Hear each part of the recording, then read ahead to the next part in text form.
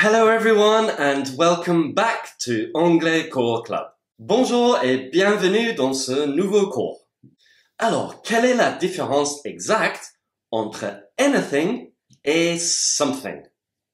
Bah, c'est deux façons de dire quelque chose, non? Vous vous êtes peut-être déjà posé ces mêmes questions. C'est vrai que cela peut sembler compliqué. Mais c'est là que cette leçon va vous aider à y voir plus clair.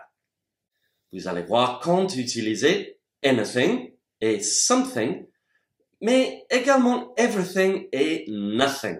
Et vous découvrirez en même temps les différences.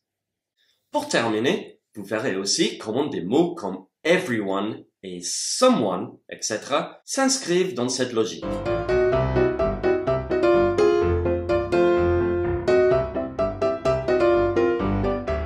Alors, commençons avec anything quand il veut dire quelque chose ou rien.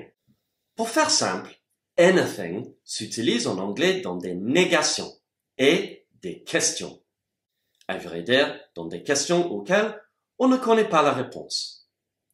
Il peut se traduire par rien ou par quelque chose, dépendant du contexte. Voici quelques exemples de chaque type.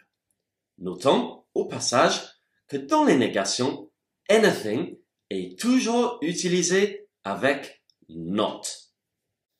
I'm not doing anything at lunchtime.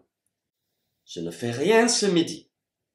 I'm not doing anything at lunchtime. They don't want anything else from the shops. Ils ne veulent rien d'autre des magasins. They don't want anything else from the shops. Do you have anything to declare? Avez-vous quelque chose à déclarer? Do you have anything to declare? Are you doing anything special during the holidays? Tu fais quelque chose de particulier pendant les vacances? Are you doing anything special during the holidays? Would you like anything to drink? Aimeriez-vous quelque chose à boire? Would you like anything to drink? Ici, on peut utiliser le mot anything dans la question parce que je ne sais pas s'ils vont dire oui ou non. Pour aller plus loin, anything peut aussi avoir le sens de n'importe quoi ou de tout, sans la négation ici. Regardons ces exemples. You can learn anything if you're motivated enough. Tu peux apprendre n'importe quoi tu peux tout apprendre si tu es assez motivé. You can learn anything if you're motivated enough. He's the nicest bloke I've ever met. He'll do anything to help you. Il est le mec le plus sympa que j'ai jamais rencontré. Il fera n'importe quoi pour t'aider. He's the nicest bloke I've ever met. He'll do anything to help you. Voyons maintenant something quand il veut dire quelque chose. En anglais, ce mot est utilisé dans des affirmations, ainsi que dans des questions, où on propose ou demande quelque chose, ou bien quand on imagine que la réponse sera oui. Voyons ces exemples. I saw something strange last night. J'ai vu quelque chose de bizarre hier soir. I saw something strange last night. I think he wants something to eat. Je crois qu'il veut quelque chose à manger. I think he wants something to eat. Is there something bothering you? Y a-t-il quelque chose qui t'embête? Y a-t-il quelque chose qui te dérange? Is there something bothering you?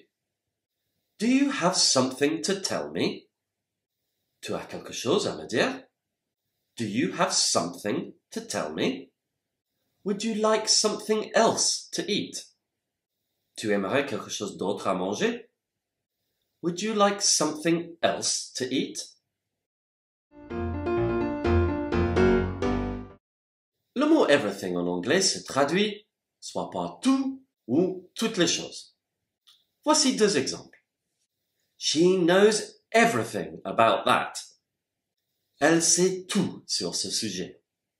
She knows everything about that. Everything on the desk is Tim's. Tout ce qu'il y a sur le bureau est à Tim. Everything on the desk is Tim's.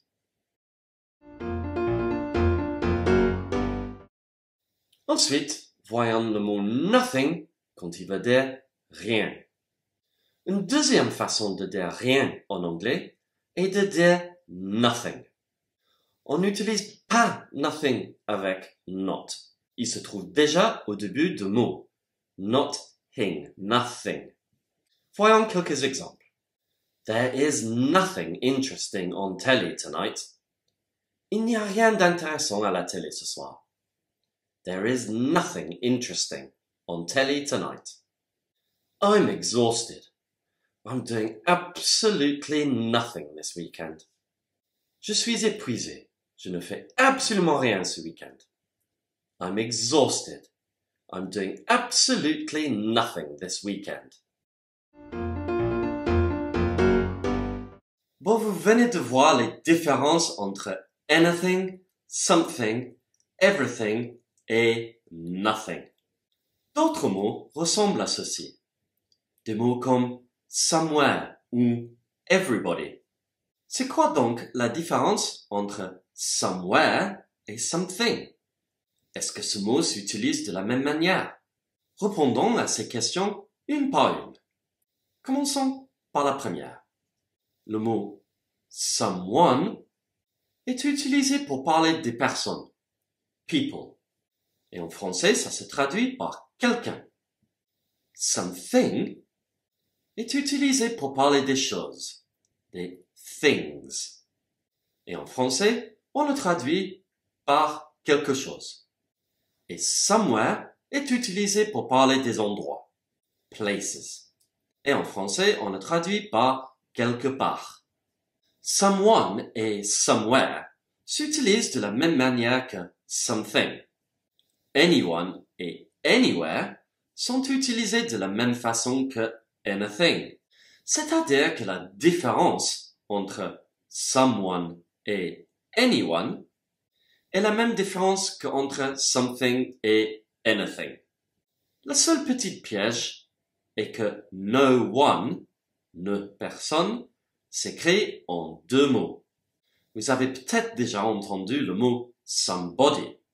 Bah, somebody est le synonyme de someone, anybody et de anyone.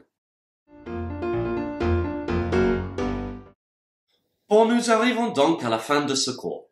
Vous avez vu les différences entre anything, something, everything et nothing. Vous avez également pu constater que anyone, someone, everyone et no one, ainsi que anywhere, somewhere, everywhere et nowhere, conforment à cette même logique, bien que le sens soit légèrement différent. And that's it for this time, everyone. J'espère que ça vous a plu.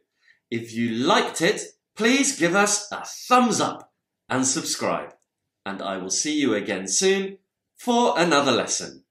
Until then, take care. Bye bye.